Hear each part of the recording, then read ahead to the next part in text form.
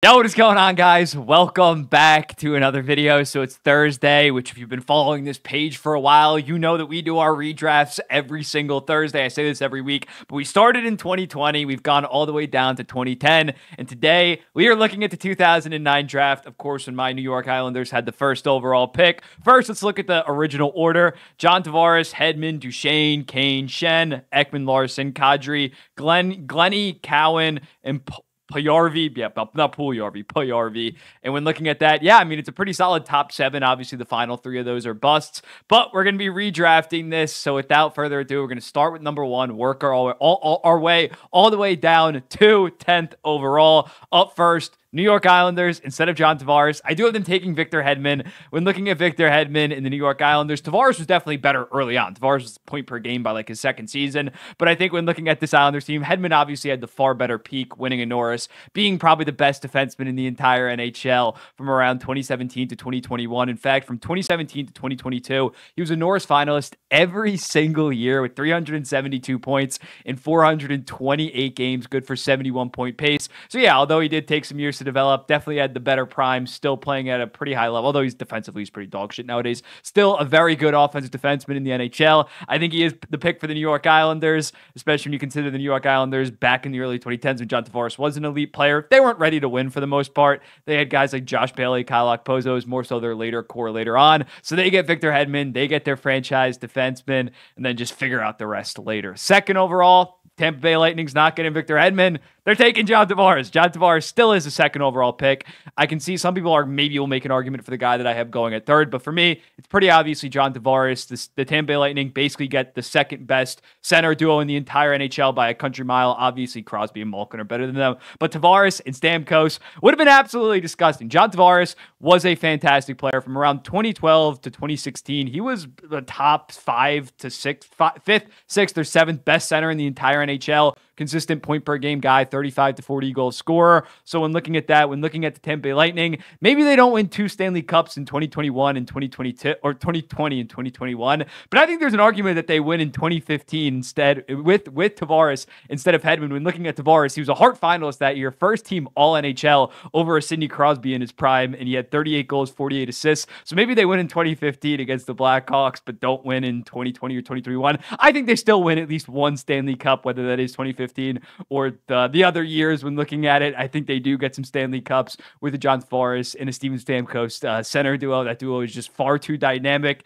and they still get a superstar player. Although, and, and he's aged, he's aged fine. When looking at John Tavares, his first year in Toronto was worth the $11 million. Then he was a point per game guy, kind of got overhated just because of his contract, wasn't living up to it, but was still a point per game guy every single year until this year. He's aged pretty well. Third overall, the Avalanche initially took Matt Duchene. I have them taking a guy that they took at 33rd overall in the same draft. Talk about a great one two punch. They end up taking Ryan O'Reilly. Yes, Ryan O'Reilly was the third third pick in the second round that the Avalanche got, but clearly he had the more consistent and I'd say arguably a better overall peak than a Matt Duchene. When looking at this, he was he broke out at 22 years old with 64 points, won the Lady Byng, and basically from then on, from what was that like 2013 on, he was one of the better two-way centers in the entire NHL. Obviously peaked in 2019 with 77 points, won the Selke, would go on to win the uh, Conn Smythe with the St. Louis Blues. Just one of the, besides, obviously, Bergeron is the two way center of this generation of the 2010s.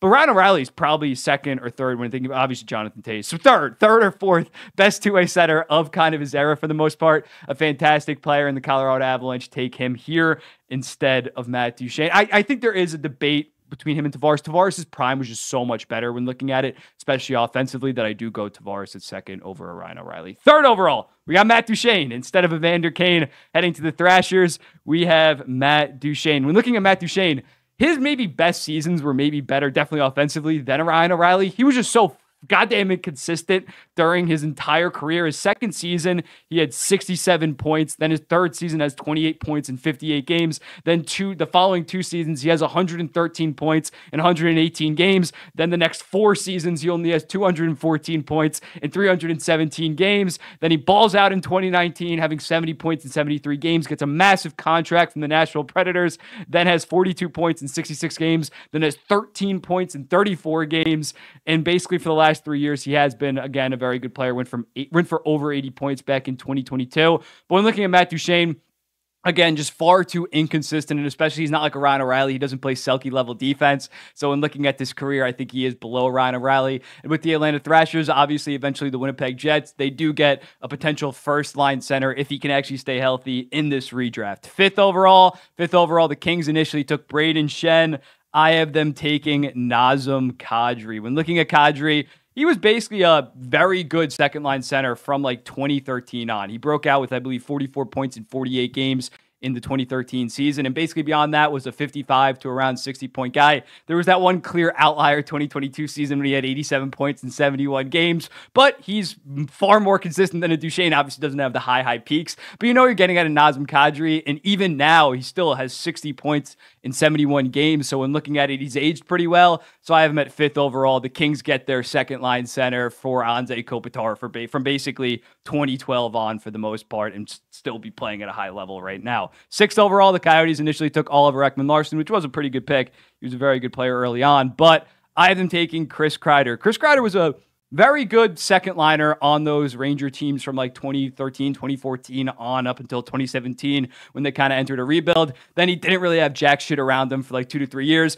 But ever since the Rangers have been a competitive team, he has been a very, very good first liner. Obviously, had that 52 goal season back in 2022. Last year, still had 36 goals. This year, probably going to hit 36 goals, maybe even sniff up against 40 goals. So, in looking at Chris Kreider, basically the last three or four years, he's been one of the best power forward net front presences in the entire NHL. So I'm looking at the Arizona Coyotes. Obviously, Chris Kreider can't lead an entire team, but if the Arizona Coyotes, say in this redraft universe, got an actual good center, he'd be very good for the Arizona Coyotes going forward. Seventh overall, initially the Leafs took Kadri. I have them taking Mattias Ekholm. Ekholm, a very underrated player. I could see an argument for having him over a Nazem Kadri or even over a Chris Kreider because basically ever since he became a full-time NHLer back in 2016, it took him a lot. It took him like two to three years longer than a Kadri and a Kreider. In part, that's why I go with those two guys over Ekholm. But basically since then, He's been a very, very good top pairing defenseman, especially defensively. Doesn't really get the, the insane point totals because he is more so a defensive defenseman. But you look at him in Nashville when he was partnered with Ryan Ellis or Subban, he was fantastic. Those were like the best pairs in the entire NHL. And then obviously Nashville kind of goes on the decline, gets traded to the Edmonton Oilers, and now him and Bouchard are one of the best, probably the best pair in the entire NHL this season. Ekholm has been about as consistent as it gets, just a consistent, very, very good around 35 to 40. This year, he might even get like 45 point defenseman. He is a very good player and an underrated one. And for me, you can make an argument that he uh, arguably should go fifth overall. Eighth overall, Scott Glennie initially went to the Dallas Stars.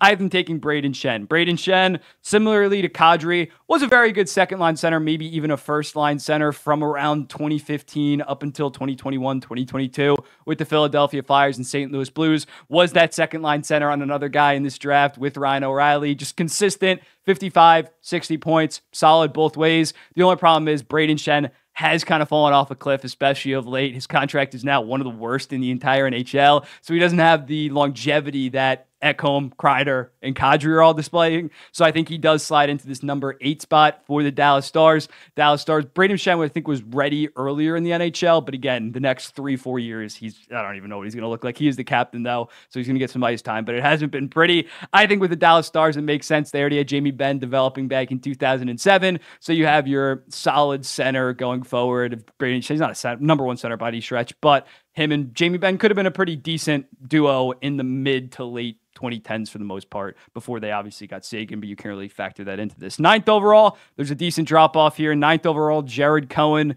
initially went to the Ottawa Senators. I have them taking Oliver Ekman Larsson. Now, Oliver Ekman Larsson early 20 about mid yeah early to mid 2010s even into the late 2010s was a very good defenseman a top 20 defenseman got norris like some norris votes never really like was close to winning one but he was re- highly regarded as a legit number one defenseman posting around 40 to 55 points every single year. The problem was past that 2019 season especially after covid he really fell off. He really fell off. Obviously, his contract became one of the worst in the entire NHL. Jim Benning, for some reason, traded for it, gave up the pick that eventually became Dylan Guenther for it. So they also did get Conor Garland, still brutal trade. Uh, when looking at it, that obviously he has not been the same player. He fell off pretty sharp at around 28, 29 years old, which is why he's a little bit lower. He's kind of like a Brayden Schenn, but he fell off a little bit earlier than a Brayden Schenn. So I have him going ninth overall to the Ottawa Senators. He's left handed. Erik Karlsson was right handed. OEL was actually not like an all offense defenseman like an Erik Karlsson. Not saying that they play together, but I think you give you give Ottawa those two guys, and they would have been very good still throughout the early 2010s, mid 2010s for the most part. And then a 10th overall, Magnus Paajarvi initially went to the Edmonton Oilers. I have been taking Reilly Smith. Reilly Smith Took a little bit longer to get to the NHL, not until 2014, but he debuted, or 2014, 2015, but he debuted, had 51 points right out of the gate with the Boston Bruins. Was a very good second liner up until he got drafted in the expansion draft. Then his first three years in Vegas, 167 points in 212 games, was a very good first liner. And basically, since that, since that 2020 season, has yet again been a very solid second liner. Pittsburgh this year, just they've sucked in general, but I think he's still a pretty solid piece. He has some more longevity than the guys that I have in honorable mention. I think think he's a very good player and would have obviously been very solid in Edmonton, who had solid offensive pieces throughout the 2010s, late 2010s, and obviously now are an actual good team in the early 2020s. And Reilly Smith would have been a decent add to that overall core. So when looking at the honorable mentions, we got guys like Evander Kane. He obviously just a lot of junk off the ice and just right now the last two years for the most part i think that personally he's fallen off a cliff for the most part tyson barrie all offense no defense kind of guy couldn't really put him Mike Hoffman, solid goal scorer in his prime, very good goal scorer in his prime, hasn't really had the longevity. Darcy Kuemper, good starter, very good at, at, at, stretches for the most part, but has fallen off, especially of late. Tomas Tatar, uh, Lee, Palmieri, Leonard, Ryan Ellis would have been on here, but unfortunately his career is basically done because of injuries. He was like as good as a Ekholm for the most part, but then obviously just fell off a cliff because of injuries. So that's it. Here's the final. Hedman, Tavares, O'Reilly, Duchene, Kadri, Kreider, Ekholm, Schenn, Larsson, Smith. The an okay draft. Pretty meh, if you ask me. But let me know in the comments. What do you think about these picks? Anybody from the honorable mention that you throw up here? What orders would you change with this? And I'll be seeing the next one.